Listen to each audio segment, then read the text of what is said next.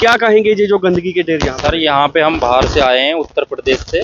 यहाँ की जो पार्किंग में गंदगी है बहुत ही ज़्यादा गंदगी है। सर देखिए ये गंदगी का इतना ढेर लगा है हमारे साथ जो टूरिस्ट आता है तो वो भी सर थोड़ा ये मक्खी गंदगी से परेशान हो जाता है। नगर निगम की पर्ची भी यहाँ हर गाड़ी की कम से कम एक सौ पंद्रह रुपये की पर्ची काटी थी हमारी नगर निगम की और उसके बावजूद भी यहाँ सफ़ाई नहीं है। तो बताओ कैसे यहाँ यात्री आके रुक पाएगा? हाँ गंदगी बहुत ज़्यादा है और बहुत ही परेशानी हो रही है लोगों को। बदबू के हमारे परेशान हो रहे हैं लोग। सत्य कहेंगे सत्य लिखेंगे सत्य चलेंगे नमस्कार आप देख रहे हैं दैनिक स्टेट समाचार और मैं हूँ सुशील शर्मा। इस वक्त हम कटरा में खड़े हैं और कटरा में इस वक्त एक बहुत बड़ी परेशानी जो है वो चाहे लोकल हाइट्स हो या फिर यात्री हो उनको एक बहुत बड़ी परेशानी से जूझना पड़ रहा है और परेशानी जो है वो गंदगी को लेकर है। इसका कारण ये है कि जो स्थानीय निकाय के जो आ, सफ़ाई कर्मचारी हैं वो फ़िलहाल जो है वो हड़ताल पे हैं जिसकी वजह से जो शहर चाहे आप जम्मू रोड की बात करें, बाज़ार की बात करें, या फिर कटरा इंटीरियर जो अंदर का कटरा है, जो कटरा की गलियाँ हैं, वहाँ पर आप तस्वीरों में साफ़ तौर पर देख सकते हैं कि किस प्रकार गंदगी के ढेर लगे हुए हैं और इस गंदगी की वजह से क्या क्या परेशानियाँ लोगों को आ रही हैं। यहाँ पर खड़ी करने वाले जो बसें यहाँ पर खड़ी करते हैं, उनसे हम बात करेंगे। फ़िलहाल हमारे साथ एक शख्स मौजूद हैं।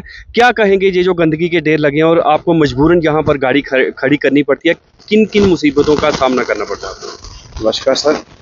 सर, देखिए, ये गंदगी का इतना ढेर लगा है तो रात को मच्छर बहुत होता है। अगर हम तो ये गाड़ियाँ आते हैं तो हमारे साथ जो टूरिस्ट आता है तो वो भी सर थोड़ा मक्खी गंदगी से परेशान हो जाता है तो सर हमें तो रात को गाड़ियों में ही सोना होता है। सर इतनी गंदगी और इतनी स्मेल है सर तो अगर हम गाड़ी में सोएँ तो सर इतना मच्छर आजकल देखो डेंगू हो रहा है, बीमार हो रहे हैं।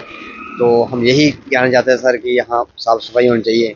और सर हम आपका भी बहुत धन्यवाद करते हैं कि आप यहाँ पर आए तो ऐसे हमारे लिए कर रहे हो। शुक्रिया सर।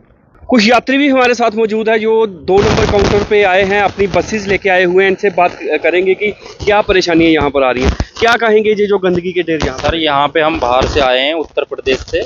यहाँ की जो पार्किंग में गंदगी है, बहुत ही ज़्यादा गंदगी है, बहुत ही ज़्यादा हालत ख़राब है। यहाँ की पार्किंग में बहुत बुरी बदबू आती है। यहाँ की सरकार को कुछ देखना चाहिए ऐसी पवित्र जगह पे कि इतनी बुरी गंदगी तो कहीं नहीं देखी हमने, जितनी यहाँ है। नगर निगम की पर्ची भी यहाँ, हर गाड़ी की कम से कम एक सौ की पर्ची काटी थी हमारी नगर निगम की।